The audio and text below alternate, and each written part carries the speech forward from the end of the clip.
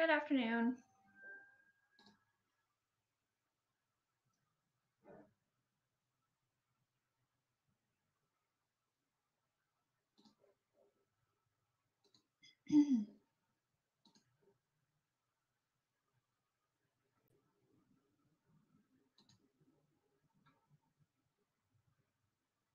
Looks like we have a few people that have come in. Let me know if you can hear me and see me and see the slideshow as well. Just type that in the chat. Hello from Ottawa. Hi. Welcome. We are back in my spare room if anybody has ever uh, seen me before, although I'm under construction, so uh, I apologize for the disaster behind me, as well as my missing PSP banner because it is somewhere in my basement. So apologize for that. All right, welcome back today. If, um, if you haven't been to one before, then that's fantastic. Welcome to just, uh, you know, your first ever Demio webinar if you haven't been to, to a session before. Uh, if you're you've been to a few, whether it's been with me or another HP staff uh, across the country, then you kind of know the deal of what we're about to be doing.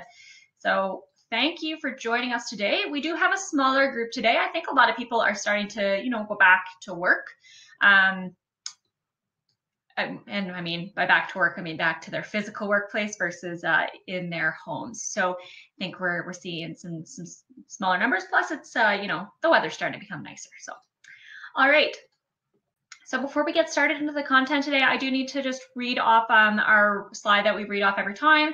So just to let you know, the presentation you're about to view is the intellectual property of the Department of National Defense, and any reproduction or retransmission of the slides contained in this presentation is strictly forbidden.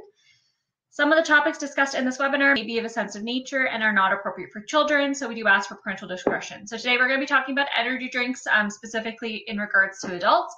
Um, children shouldn't be consuming energy drinks, and we will touch base on that. So that's not sensitive material necessarily today. Uh, please understand that people's stories are theirs alone to tell, and anything that is shared by participants in this webinar, either on camera or in the chat, is not to be discussed outside of the webinar. And this webinar is being recorded and will be available for viewing later on on cafconnection.ca. So though active participation is highly encouraged, you may simply follow along without using the chat and or video microphone functions if you prefer. So if you haven't been to a session with me before, I don't turn on the camera or mic functions for the group until the end, just because generally, especially with larger groups, uh, some people forget to turn off their mic. Uh, so then you're hearing everything that's going on in the background. Um, if you want your mic turned on or your camera turned on at the end to ask a question um, or at any time during the session, just let me know and I can turn that on for you. Um, but you don't have any requirement to do so. You can just type in the chat if you have any questions or, or you're engaging in in the situation. Um, with the polls, I will be putting a couple polls on. I can't see who's answering what, so it is it is anonymous. So just feel free to be, um, you know, completely honest in there. They're not very intense polls. Um, you know, we'll just be asking you if you've consumed energy drinks before, um, and no judgment here whatsoever. Okay, so today we are going to be talking about energy drinks, the buzz on energy drinks. Um, if you haven't seen me before, my name is Lisa Fisher. I'm the health promotion specialist at 4 Wing Cold Lake. Um, and generally, I also, uh, since my mic will be on, I'll give you a quick heads up that uh, my dog may bark at some point. So I will apologize in advance for um, his rude behavior, but sometimes he just needs to let me know things are happening outside. So before we get started, I am going to ask you a couple poll questions. So if you've been on a session before, you know exactly what I'm about to do. So the first one here is, what is your affiliation with the CAF community? So let me know if you're a serving member, a veteran, a family member, a civilian employee, or other.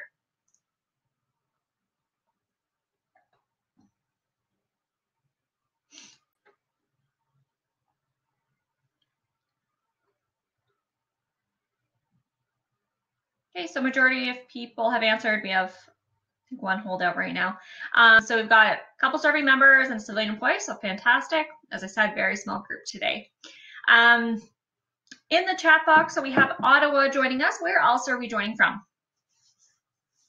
And is your weather nice there?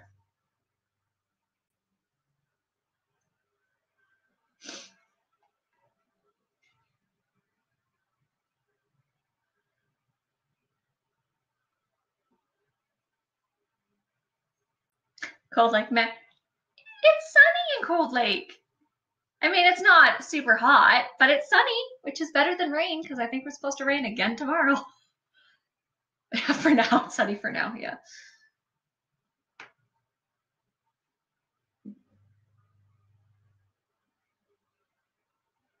All right, a couple of people are a little quieter. That's okay. We'll get started in the in the topic then. Okay.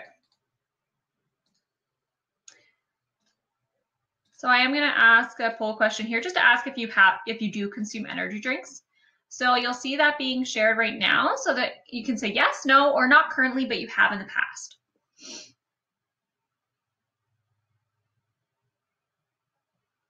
Okay, so majority don't consume energy drinks. Um, well, nobody consumes energy drinks currently, um, but majority are saying they haven't in the past. Um, so that's interesting to know. Um, so this, oh, Sunny and Han, Ottawa, perfect.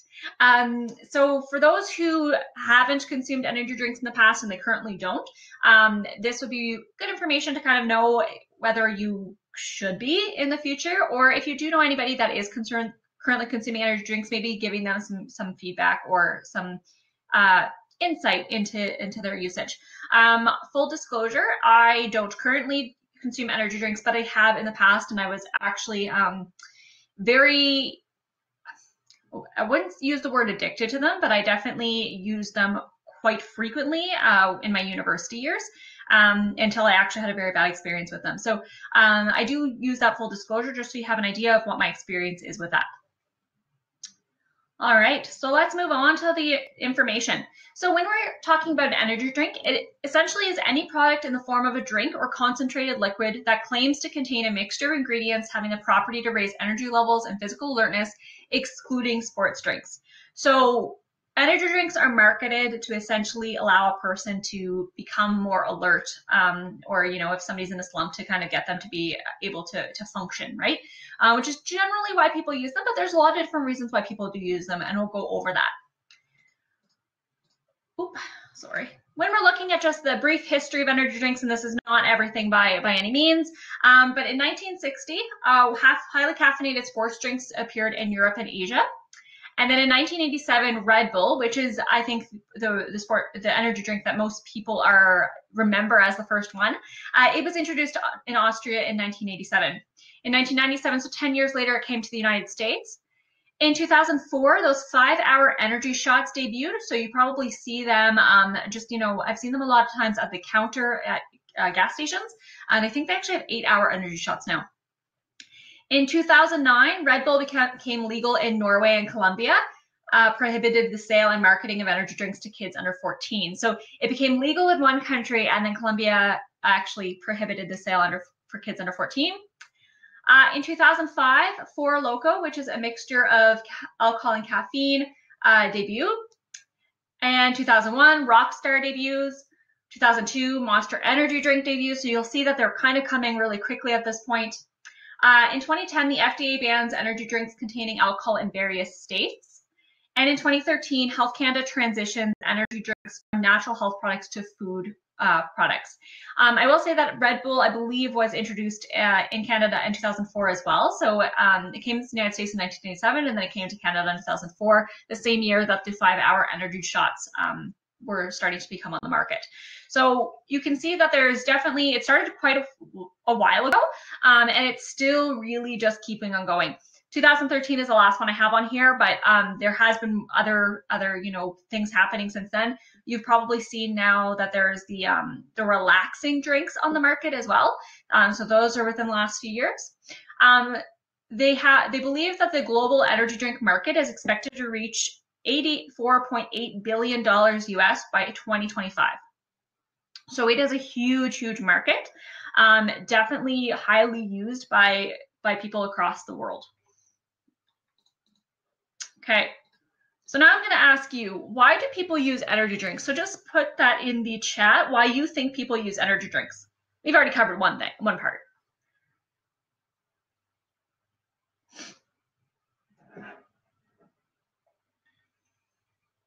To stay alert? Yeah,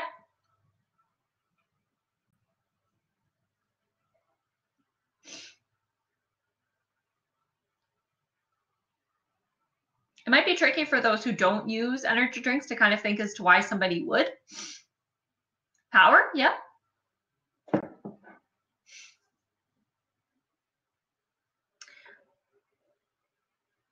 So here you go. So state alert or to stay awake. Alternative fluid. Yep, that's a good one as well. Have energy.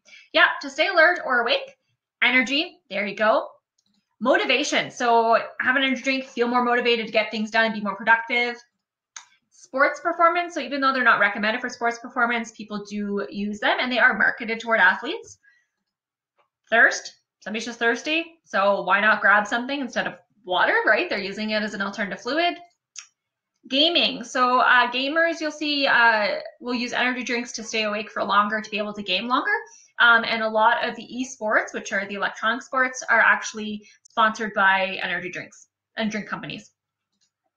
Studying, um, so that is actually the reason that I used it in university because um, I procrastinated, so I had poor time management. Um, and so to stay awake later to study for the exam or write a paper, I would use energy drinks. Not a good idea. Um, I learned how to manage my time since then because it's a bit of a healthier coping strategy, right?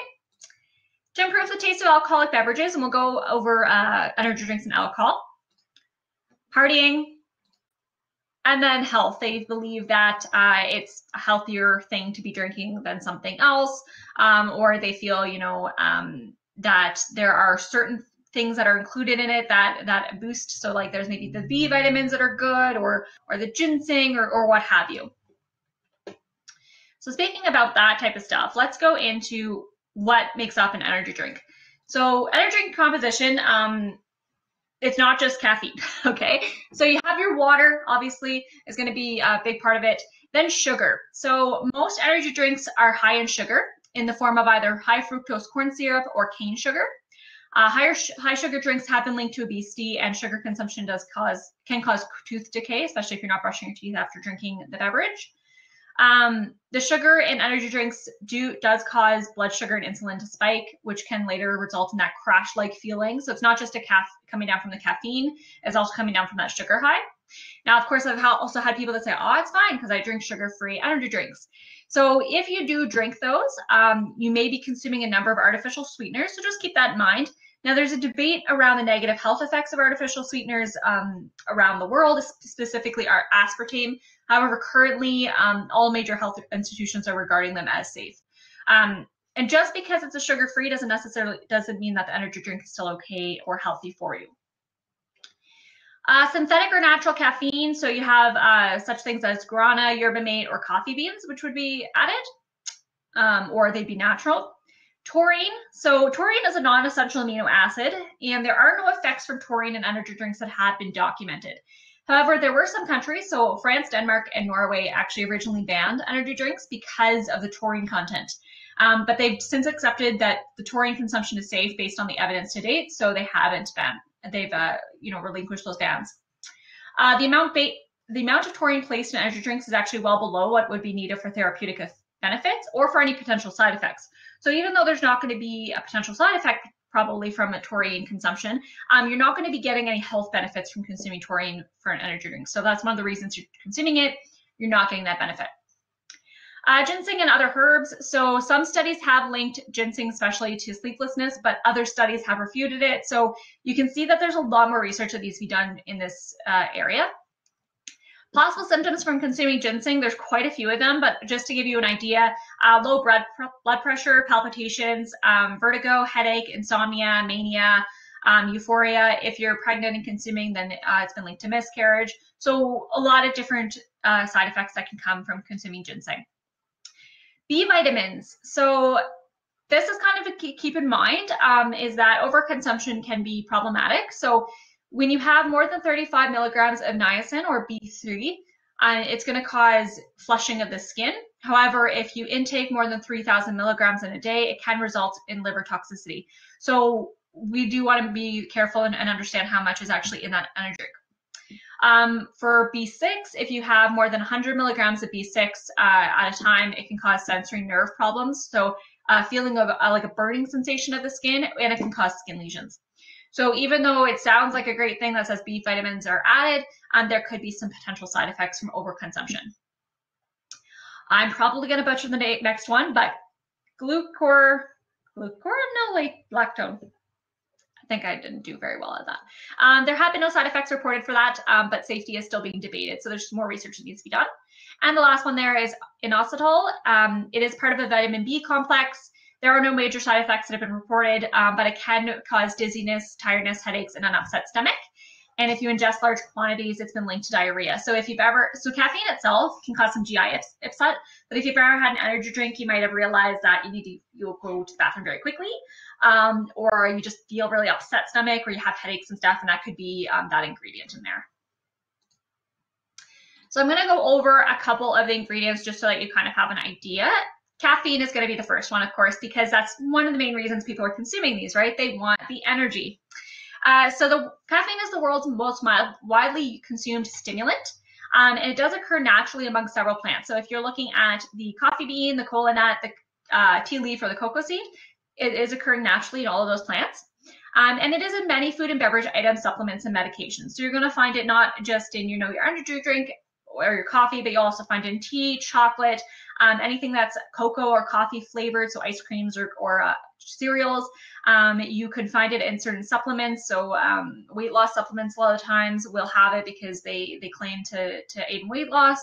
Um, you may see it in medications, so such as Midol or um, headache medications, because it has been found to improve the effectiveness of those medications. So keeping in mind that you might be consuming caffeine in uh, different versions throughout the day, not just your energy drink if you're choosing to consume an energy drink. Now, there are benefits to caffeine, um, right? Caffeine is not a horrible, horrible thing. Um, overconsumption is where we, we see the problem. So, uh, caffeine does stimulate the brain. So, for those people who want to become more alert, caffeine is, of course, going to do that. Um, there have been found to be performance benefits, especially for endurance athletes. So, those benefits are seen in a moderate intake versus a higher intake because a higher intake is actually going to increase your negative side effects from caffeine. So uh, those performance benefits include increased oxygen consumption and increased mobilization of fatty acids as fuel. So endurance athletes specifically are going to find um, more of those benefits.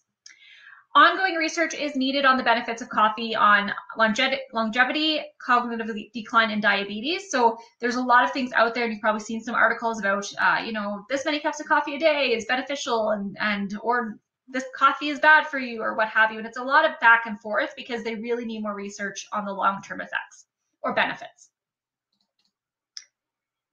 Now I'm going to ask here does anybody know how many, uh, what's the maximum amount of milligrams that you should be taking of caffeine per day as a healthy adult? If you don't know the milligrams, how many cups of coffee equivalent?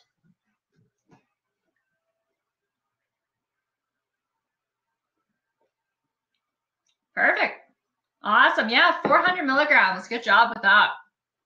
Depends on the cup. Yeah. So let's see what a cup means. so I'm going to put this up here. It's not just healthy adults. I've put all uh, age ranges here. So if you have a child 12 and under, the maximum recommended daily caffeine intake would be 2.5 milligrams per kilogram of body weight. Um, we're not recommending they drink coffee by any means, but just keep in mind that, you know, chocolate has caffeine, right? Um, now that changes when they get a little when they have different age ranges. So you'll see that four to six years is 45 milligrams, seven to nine, 62.5, and 10 to 12 years is 85 milligrams. Now, if you have a teenager who's 13 and over, same thing, 2.5 milligrams uh, kilogram of body weight. Um, so you'll see that if they're at this certain amount of kilograms for body weight, they're going to be able to consume this many milligrams of caffeine. I'm not going to go specifically over that. For women who are planning to become pregnant, preg are pregnant, or are breastfeeding, uh, the maximum recommended daily intake is 300 milligrams, and that's the equivalent of about two and a quarter cups of coffee. Now, this is filtered coffee containing 135 milligrams of caffeine per cup.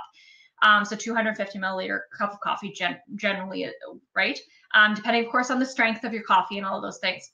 Uh, if you are a woman who is, um, you know, planning on becoming pregnant, are pregnant or breastfeeding, speak to your healthcare provider before consuming caffeine, of course. And for healthy adults, uh, you got it on the head there, 400 milligrams, which is approximately three cups. Um, that's containing 135 milligrams of the caffeine per cup. So yet again, it's going to depend on the strength, it's going to depend on the size of your, your cup, um, but just kind of keep that in mind. Now that's the maximum recommended daily intake for the entire day, including all caffeine. So not just your coffee or your energy drinks, but any caffeine that you're consuming with your medications, your supplements, your chocolate, your flavored things, all of that stuff. Okay. Now, looking at that, what are the drawbacks? So, caffeine does have some drawbacks. Um, possible undesirable side effects could include sleep disturbances, especially if you're going to consume it um, past the late afternoon. Headaches, palpitations, agitation, restlessness, irritability, anxiety, tremors, and GI discomfort. Um, if you use it excessively, it could lead to nausea, vomiting, convulsions, and heart problems. Um, and it can result in physical and psychological dependence. So if anybody um, is a coffee drinker or a you know caffeinated tea drinker or an energy drink user, um, you may feel withdrawal symptoms if you've tried to quit before or if you're currently trying to quit. Um, I know uh, when I stopped using energy drinks, I definitely had some withdrawal symptoms. And same when I used to drink a lot more coffee because I was a, college recruiter, so I traveled a lot. Same thing, I experienced withdrawal um, when I was cutting, well, I try to cut cold turkey, and that's not the best idea. We want to, you know, reduce slowly so you're not experiencing those withdrawal symptoms. Because when you feel, you know, headaches and and nausea and irritability and all those things, you're going, well, it's not worth it. I'm going to start drinking my having my caffeine again. So the bottom line when it comes to caffeine is we want to limit your caffeine consumption to a maximum of 400 milligrams per day for a healthy adult. And if you are consuming large amounts of caffeine, slowly reduce that intake over time to decrease withdrawal symptoms. So you're not feeling so horrible that you just start using again. So when we look past caffeine, energy drinks um, are sold as a traditional sweetened beverage. So some people consume them the same way that they would a regular soft drink. So instead of having a, a can of pop, they're going to grab for an energy drink. I it, they do have impact on weight and dental health. So I did mention already that that sugar um, has been high sugar drinks have been linked to obesity and tooth decay, especially if you're not brushing your teeth afterward. Um, it is associated with the world of sport. So many sporting events, athletes, and teams are actually sponsored by energy drink companies. Um, I've seen quite a few ads where they have, you know, runners um, with the energy drink ad, or or uh, people playing soccer or basketball or what have you and they're not recommended for that. Um, there are risks when combined with alcohol. So energy drink labels actually state specifically that they should not be mixed with alcohol. So legally in Canada, you can't um, sell caffeine, uh, sell energy drinks and alcohol together. So if you've ever gone um, to the uh, the bar and you've asked for a Jager bomb, you're going to get the can of Red Bull and then the shot glass with your shot in it. And they know that you're obviously going to, you know, pour it together. Um, but that's how they get away with that. Is that that's how they do it. Uh, when you go into the stores, you have the commercially available alcoholic energy drinks, and the way they're able to do that is because they contain natural sources of caffeine and they don't have synthetic caffeine added. So it's illegal to add synthetic caffeine, which is why you can't have the bartender add the Red Bull to your shot. Um, but in the stores, you can have those um, those energy drink alcoholic beverages because it's natural caffeine. So if you ever wondered why that is. Um, and they are marketed based on a life, lifestyle. So they specifically appeal to young people and those seeking performance. That's what the target market is. Um, of course, you do have people who are, you know, older that do consume energy drinks, but that's really who they're they're aiming for. Um, so even though it says on the label that uh, people under the age of 18 are not to consume the beverages. Um, I definitely consumed them in high school, and I was it was very easy to purchase them because it wasn't illegal to purchase them uh, back east. Um, but I know that some provinces and, and territories have some regulations around that, which is fantastic because they shouldn't be consumed by those under the age of 18.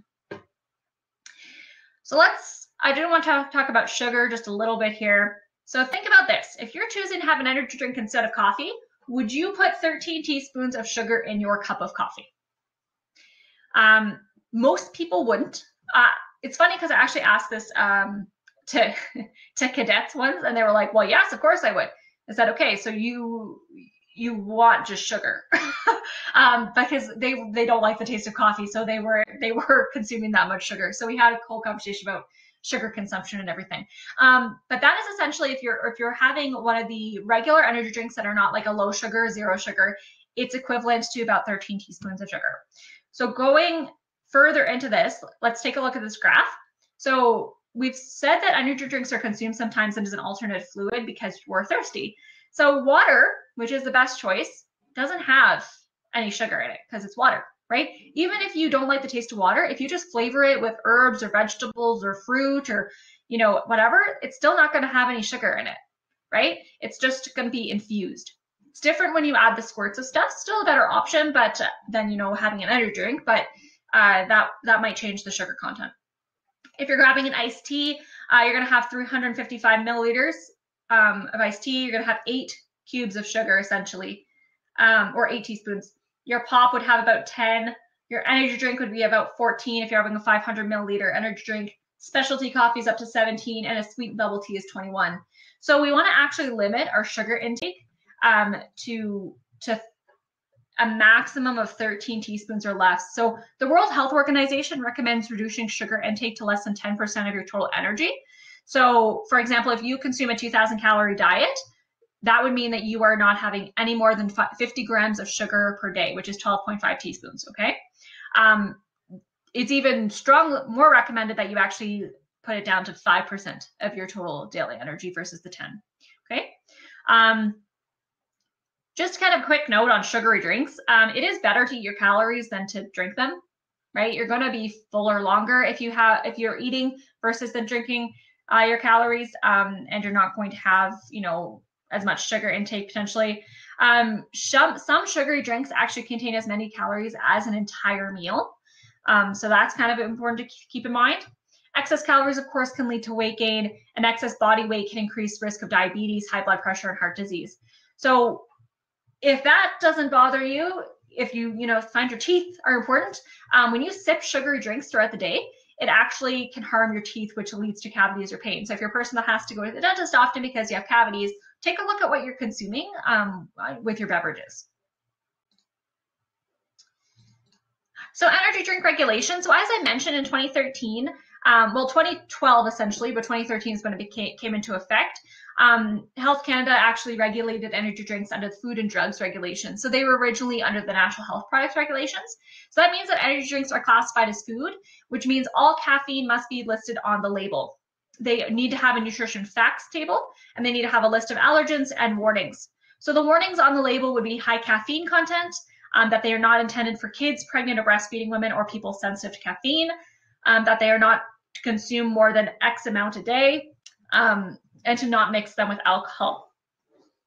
Um, energy drinks are included in the category of beverages that have a caffeine content between 200 to 400 milligrams uh, per liter. Um, energy shots, so those five hour, those eight hour, are still subject to the Natural Health Project product regulations. Um, so they are regulated differently because they're not uh, a beverage; they're a, a supplement shot essentially. So when we look at um, the maximum content of caffeine allowed, just to kind of give you an idea, so this is what Health Canada is, is saying. So the maximum allowed caffeine level, then the caffeine equivalent per container. So when you're looking at an energy drink, if you have a non-resealable container or those under 750 mils, um, you can have a max 400 milligrams of caffeine per liter or 180 milligrams per container. Okay. Um, when you look at a resealable container of 750 mils, which I personally haven't seen, but I'm sure they exist. Um, if they didn't, it'd be strange why it would have that issue. Uh, max 360 milligrams per liter for a resealable container. In comparison, if you have a carbonated soft drink, your cola has a max 200 milligrams per liter, and your other soft drinks would have a max 150 milligrams per liter. So quite a big jump um, in the amount. So if you're looking at a can of cola, you'd have a maximum of 71 milligrams of caffeine in that 355 milligram can or milliliter can, right? If you're looking at a energy drink, which is 475 73 milliliters, which is the general size, at least that or even bigger, you're looking at 180 milligrams per. Okay. Now this, um, this is a lot of information. I'm not going to read it all. Uh, but then we're going to look kind of, there's coffee and coffee beverages, carbonated soft drinks again, energy drinks and concentrated energy drinks. Just to give you an idea of what, when you actually go to the store or you're purchasing something, what the differences are. So if you're having, you know, a filtered store-bought 250 milliliter cup of coffee, um, you're going to have between 78 to 243 milligrams of caffeine in that cup, right? So if you just go and grab one through a drive through, or what have you. If you're grabbing a, uh, a can of, of Coke or a can of Pepsi, that's 355 milliliter can. That's between 37 to 38 milligrams of caffeine, so quite a bit lower than your coffee. If you have an energy drink, so uh, your Red Bull, let's look out just at the 473 milliliter can. So your Red Bull, 151. Uh, your Rockstar is going to be 160, and your Monster would be 150 to 175. Okay, and then your concentrated energy drinks, so those shots, uh, your Red Bulls 80, and your five-hour energy shots are 190. So quite a bit of caffeine in those in those shots and those energy drinks.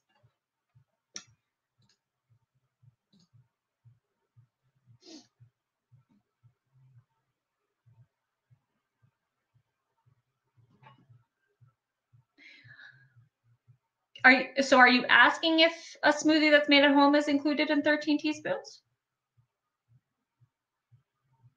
So if it's no, so if it's natural sugar from your fruit, then no, because it's 13 teaspoons of added sugar. So essentially, if you are putting in honey or, um, uh, you know, if you're putting in maple syrup or you're putting in juice that has added sugar in there, um, then that would count towards your 13 teaspoons. But if it's just, you know, you're adding your fruit, um, then that's fine. Natural sugars don't count toward those 13 teaspoons. Um, so I will let you know the impact on, so I'm going to keep this slide up for just a second, but your impact on total caffeine intake to give you an idea.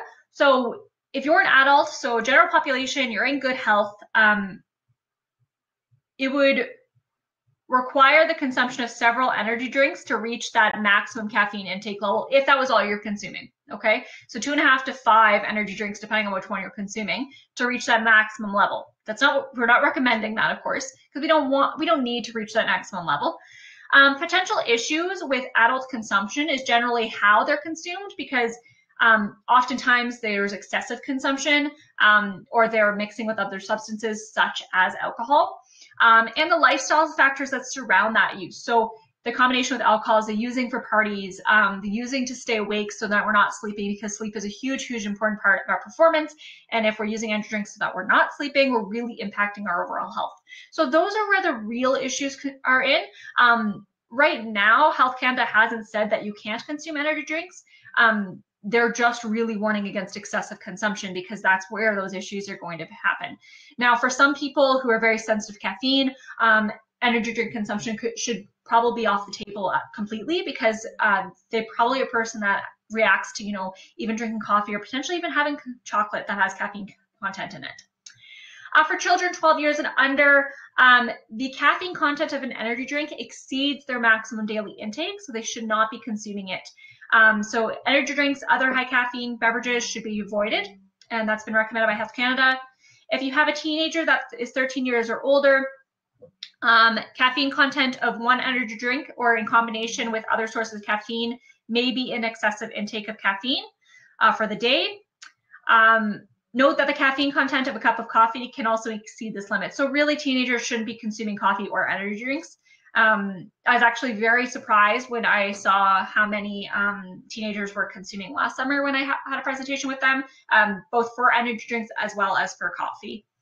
Um, consumption of energy drinks or other drinks with high caffeine content should either be completely avoided for teenagers or at least limited um, if being used.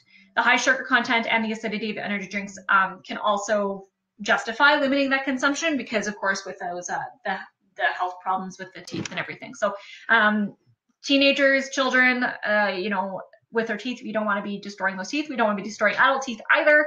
Um, but you know, the less they have to go to the dentist as a child, the better, because I know I had to go to the dentist a lot as a kid, and I definitely dislike the dentist now.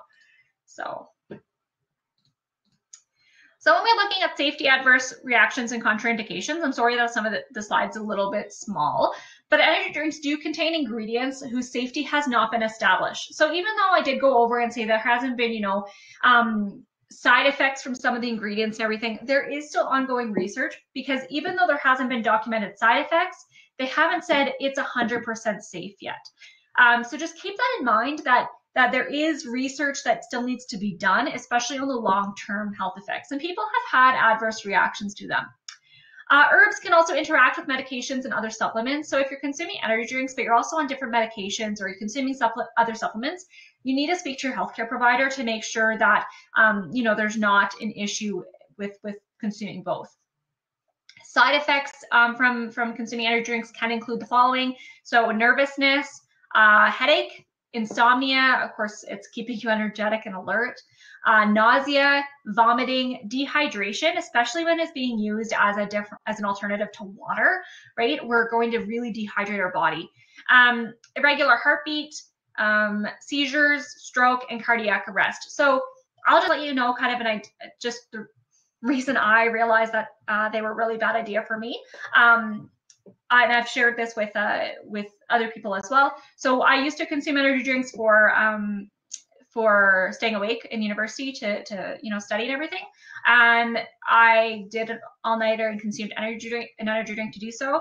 I actually ended up having a seizure the next day, um, which uh, I went through. I had to go through all the neurological um, you know ish, essentially all the I had to go to neurologist um, my license was taken away for a couple months because they had to prove that I didn't have um, another condition such as epilepsy.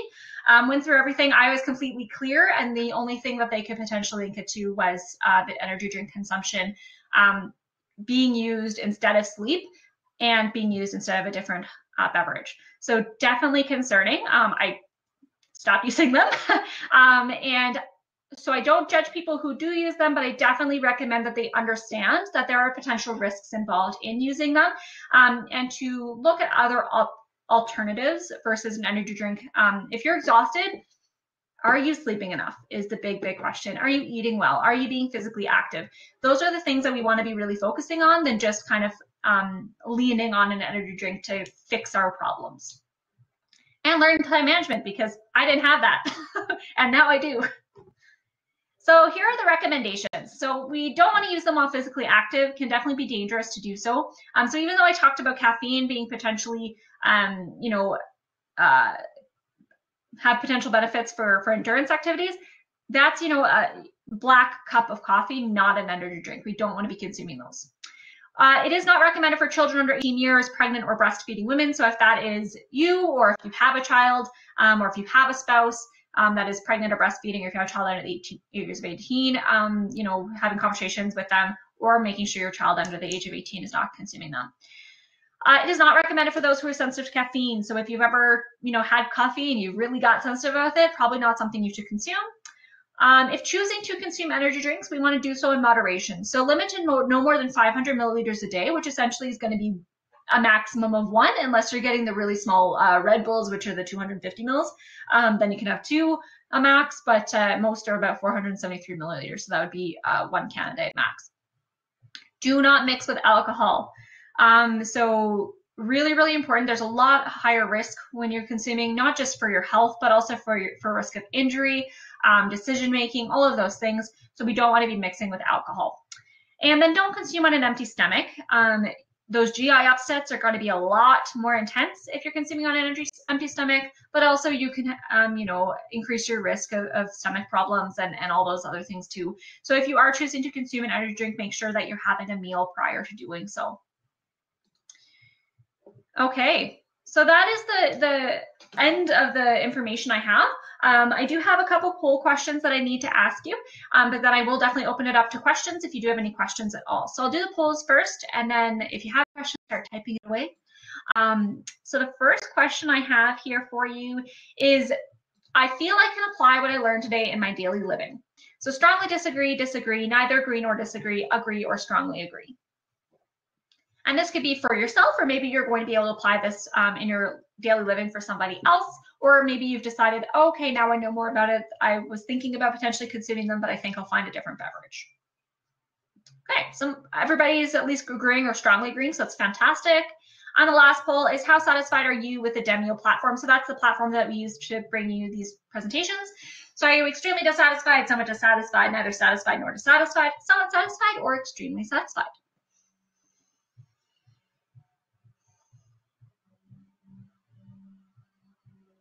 I don't know if you can hear the music in the background, but I think my neighbors are having a, a car washing party.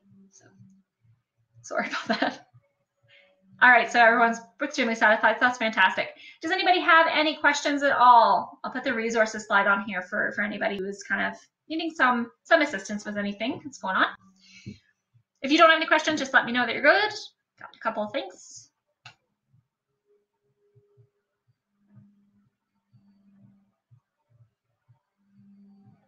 Perfect.